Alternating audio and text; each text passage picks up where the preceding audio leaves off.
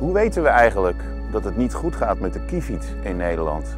Dat de zomertortel bijna verdwenen is? Dat weten we dankzij het telwerk van honderden vrijwilligers. Die gaan elk voorjaar op pad om te inventariseren in hun eigen telgebied voor het Broedvogelmonitoringproject, het BMP. En dat is hartstikke leuk om te doen. Je bent lekker buiten, je doet mooie waarnemingen, je leert je gebied goed kennen en je krijgt in de gaten wat er allemaal verandert in je gebied.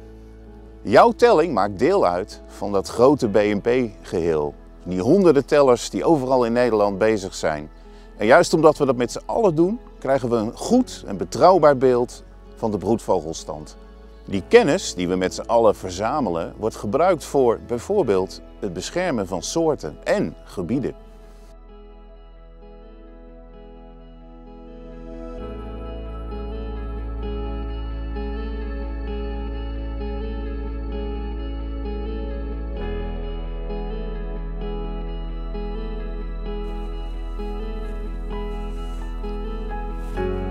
Broedvogels inventariseren doe je vooral in de vroege ochtend. Maar juist dan zijn veel vogels te zien en te horen.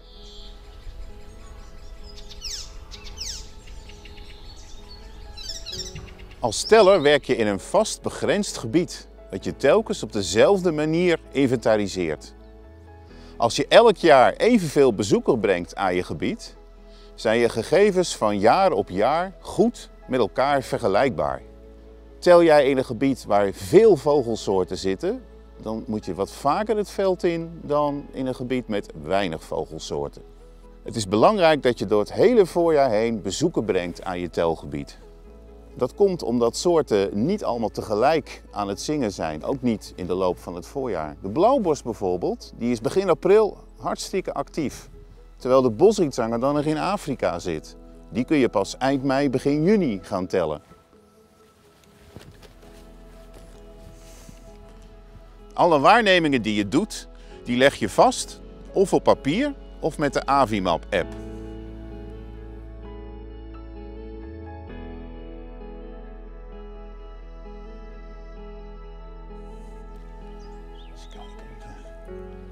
Karekietje te zingen daar en daar hoor ik er nog een. Goed. Je hebt trouwens verschillende varianten van het BNP. Bijvoorbeeld het BNP-A voor alle soorten broedvogels. BNP-B, dan hoef je de talrijkste soorten niet te tellen.